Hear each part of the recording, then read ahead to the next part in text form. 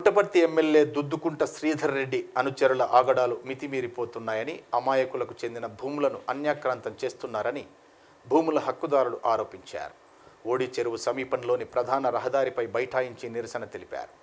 ఈ సందర్భంగా భూమి హక్కుదారులు మధుబాబు నాగరాజు శివశంకర్ రెడ్డి కబ్జాకు గురవుతున్న భూముల వివరాలను మీడియాకు తెలిపారు.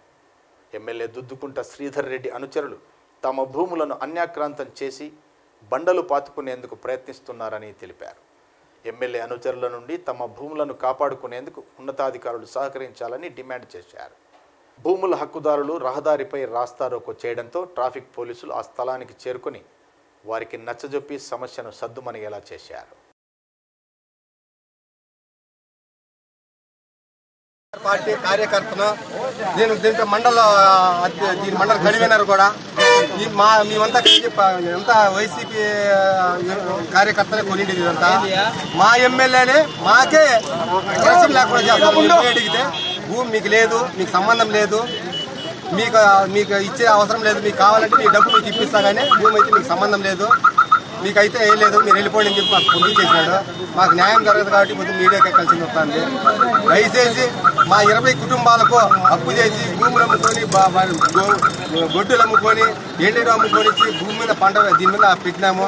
ఇప్పుడు ఇరవై కుటుంబాలు రోడ్డు పడతాయి ఈ ఇరవై కుటుంబాలు ఏడు మంది కలిసి రెండు వేల పన్నెండవ సంవత్సరంలో ఈ యొక్క భూమిని కొనుగోలు చేయడం జరిగింది. ఆ దినం నుంచి లాస్ట్ ఇయర్ వరకు కూడా మా యొక్క స్వాధీనంలోనే భూమి ఇప్పటి వరకు కూడా మా స్వాధీనంలోనే ఉంది.